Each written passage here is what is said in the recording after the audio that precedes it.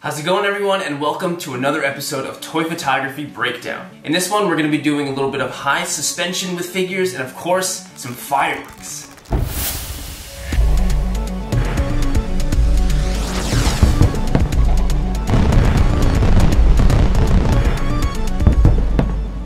Couple weeks ago I started a new toy photography video series called Toy Photography Breakdown and I'll break down a toy photo from the start at the creative idea all the way down to the editing and the final product. And so this one is going to be kind of a spin on a very iconic awesome action scene. You underestimate my power! So we all know and love the iconic and awesome Battle of Heroes from Revenge of the Sith, Anakin versus Obi-Wan, and we all kind of know how that one ends.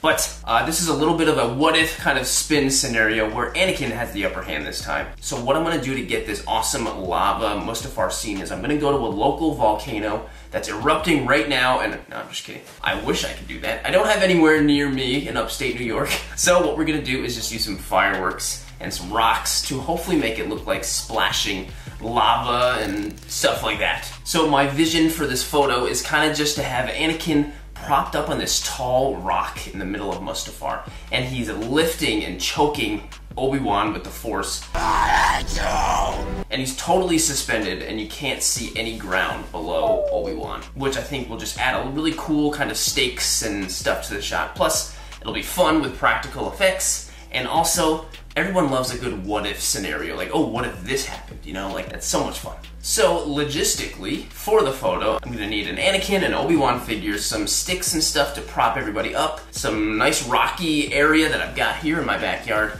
and also, of course, fireworks. I'm gonna break all that down, and also I'm gonna break down how I edit the fireworks and edit all the lighting within the fireworks shots and all that stuff. So it's gonna be a great episode.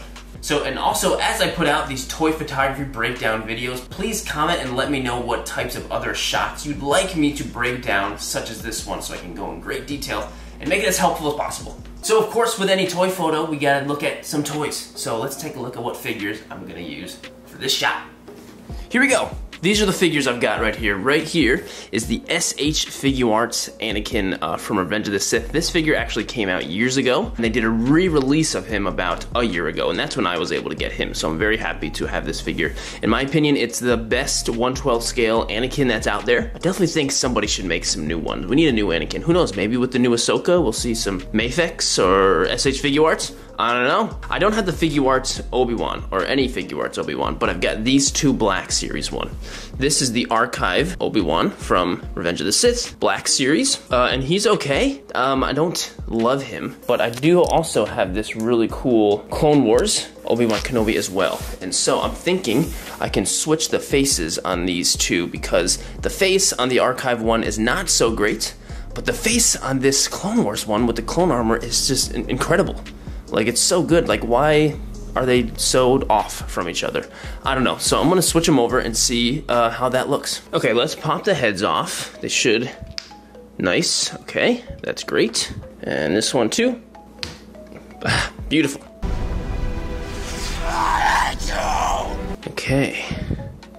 Well, it's not a perfect fit. The skin tone is a little bit different for sure. But I don't think that'll be a problem. If I have to edit it out in Photoshop, that's fine. But it is a little wobbly, doesn't fit on. For the photo, it should work fine, and that looks so much better than the other one. It's incredible the, the difference between these two head sculpts. Like, why didn't they just, when they did the archive, did they use this sculpt? Who knows? What are they doing? So, to avoid the wobbliness, I'm just gonna use a little bit of this blue sticky tack that I use so often with toy photography. I'm gonna put a little bit on there like that, and there we go.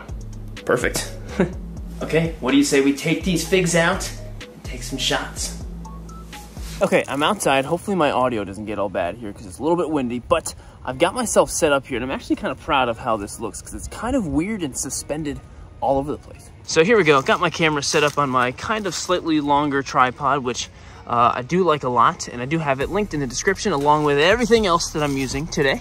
And I've got this going on right here. So Anakin is pissed off. He's using the, the Force to choke Obi-Wan over the lava, and there's, oh, it's great. on Mustafar in my rocky little area here. So I've got Obi-Wan on this long wooden dowel here. And you can get these things thinner, thicker at Walmart for really cheap or like a craft store for like a dollar more. And they're really great for all kinds of stuff. I use them all the time. Anakin actually has some sticky tack on his back, which is helping him balance. And so Obi-Wan is over here just getting choked out. And I do have his lightsaber, so I'm gonna take a couple of separate photos like this with his lightsaber kind of floating there, like dropping it or something, just to add a little bit of extra. That's really my, my whole setup. So I've got these guys right here. These are crackling ball fireworks. I use these all the time. I've got several videos on how to use them and how to edit and all that stuff, but it, I'm gonna go through that in detail in this video, but if you want any more, even greater detail, probably head to those videos. I'll have them linked right here in the description. I'm gonna do, I think, two different blasts of explosions separately. Uh, one in the front and one in the back. And my goal is for them to explode and then to look kind of like lava is, is kind of flowing around like in Mustafar. So all of my lighting here with this LumeCube Panel Pro 2.0, I'm also gonna be doing separately. I'm gonna take a couple of shots with the light over here, a couple of shots with it over here, a couple of shots with it over here, all over the place, and then I'm going to layer them in in Photoshop later on. And so I have lighting exactly where I want it. And hopefully it's gonna look like it all kind of matches with the lava kind of thing going on here. So these are my settings. Uh, for my shutter speed, I've got 2500 because I need a fast shutter speed for the uh, moving particles of the fireworks going around. I've got f1.8. Uh, and that's great for uh, you know blurry background and great bokeh with the fireworks, great bokeh. Uh, and my ISO is at 400. I try to keep it at 400 all the time. Okay, let's get some shots with the light in different areas.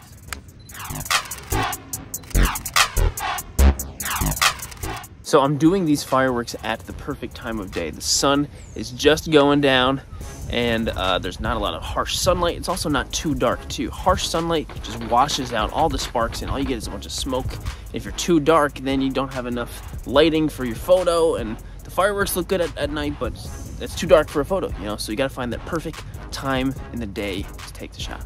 Okay, I got some uh, fireworks here and let's start blowing some stuff up. Gonna do number one and then number two. Hopefully they, uh, they look okay.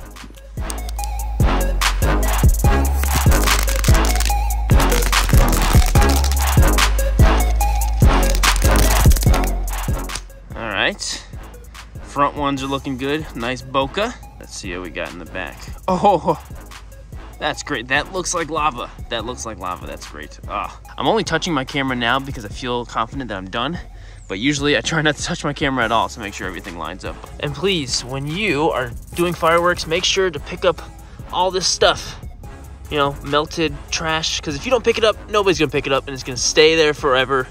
Literally. So make sure to pick that up. Also, for all my outdoor photographers, how do you bring your stuff outside to shoot? Do you put them in a little tray? Bring it outside or you just try to balance it all in your hands or what? Like something like this is amazing. Otherwise, I think I'm all set and we can get into the editing room now. All right, so uh, I'm over here in the editing room now. And so, uh, if I look at this photo I did, there's actually something wrong that I'm not loving. And if you look here, uh, zoom in, Obi-Wan is uh, very out of focus. Uh, I definitely messed something up here, and you know what? It happens sometimes. So I actually went out and I took another photo later, fixing it, and Obi-Wan's in focus over here. Actually, what I'm gonna do is I'm just gonna edit this photo like normal, and then at the very end, I'm just gonna kind of replace Obi-Wan completely with this photo. Uh, it's gonna be actually a lot more simple than you think. First, let's get started with the actual normal editing with this one. A ton of different photos here as far as explosions go. And first, I'm just going to layer in all of the explosions. And right now, we're going with the foreground explosions. So we've got some of this over here, here, and here. We're going to do this explosion is draw a box over this. Control C, Control Shift V. We're going to change this to lighten. So it's important to have the layer type as lighten because it will make all of the dark things translucent and all the light things not translucent. So all the sparks come up great, but everything in the background just becomes clear. It's great. Then also, a very important thing to do is if you scroll in here, see there's a very clear line from where I copied and pasted. Get rid of that. I'm just going to erase it. I'm going to use my eraser tool. Make sure my hardness is all the way down. And I'm just going to erase. I'm going to do that a bunch of times with the foreground explosions right now. Okay, all the foreground explosions are there, so I've got all these background explosions that I'm going to layer these into. So just for these whole background explosions, I'm going to grab the entire picture. So Control A, Control C, and then Control V, and there we go. Make sure this is on lighten also. But what's really important is since I'm also grabbing things that are part of, uh, you know, his face and the figure, I'm going to zoom in and make sure it's lined up. And if you can tell, look, it's not perfectly lined up.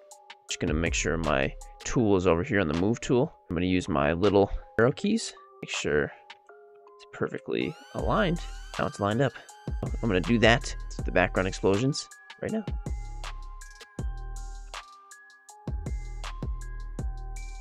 Okay, so all of the explosions are there. We're good. So let's start layering in the lighting. Okay, so I've got three different lighting shots I'm going to layer in on Anakin. Got this one here that's red because I'm going to put a red lightsaber there. And then I've got one above, and then I've got some on the outside on his right side there. And that's going to add some nice rim lighting around the outside of Anakin so it pops better with the photo. The process with this is exactly the same as the explosions, literally exactly the same. Draw a little circle of the lighting I want with the tool here. Control C, Control Shift V, making sure the layer type is on lighten. And look at that. Let's go and do that for the rest.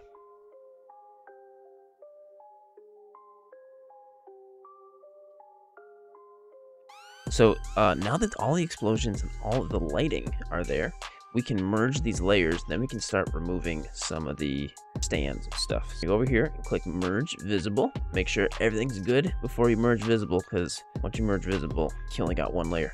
So let's scroll and get rid of this stand behind Anakin. Go over here and grab the remove tool.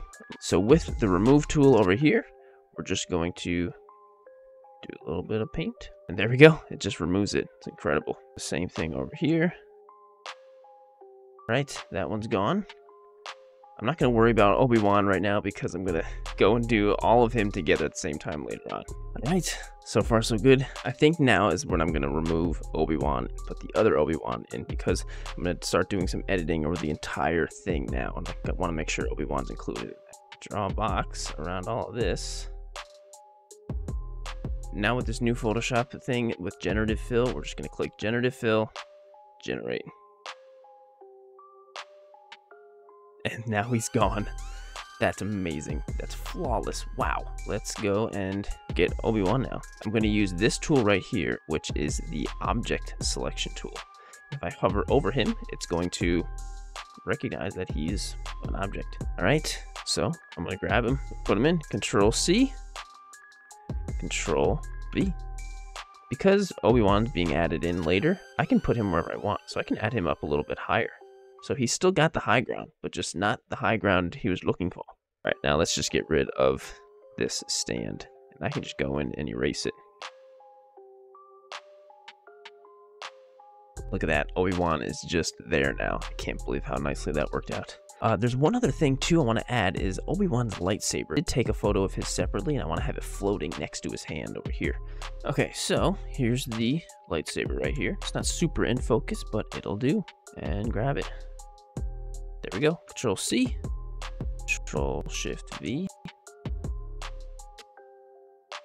Okay, let's add some lightsaber blades. So, to avoid this video just being a little bit too long, if you're interested in creating a lightsaber in Photoshop, just head over to my lightsaber tutorial I have right here on the channel. I'll have it linked in the description of this video. Also, now let's just go and actually adjust the brightness colors for the whole entire photo. Filter, camera raw filter. This is just great. You can adjust all kinds of stuff over here. Uh, bring the highlights up, shadows down. I'm to bring the whites all the way down yeah, so then I get a whole lot less white smoke. Bring the highlights up a little more. Go to the effects. I can turn the texture and clarity up a little bit. Um, all right, let's hit OK. So the last finishing flashy touch is we're to add some lens flares. We're to add three of them. So uh, the first one is to be on the red lightsaber. Let's go to filter, render, lens flare. Let's go to this one, 105 millimeter one. I just like that one. Turn it way down, 40, and let's put it right at the top where the lightsaber is igniting. Boom. Look at that. Let's do the same thing. Filter, render, lens flare. Let's bring it down for this one. Amazing. Looks good. So let's go down to this big background layer and we're going to duplicate it just because the lens flare adds some extra stuff sometimes. So control J, filter, render, lens flare. Actually, let's do the 50 to 300 millimeter one. Make it a lot bigger. And there's a lot of light coming from the bottom here. And I think the lens flare will look good there. And there we go. So if you ever see these extra little lens flare bokeh things over here and you don't like them, that's why I duplicate the layer and I'm just going to erase them. This is done. Let's just add my watermark. Okay, and the photo is done. This is it. Um, not too bad. You know, when I look at it, it doesn't necessarily look like Mustafar. Maybe a little bit. But it still looks pretty good, and I'm happy with it. So, cool.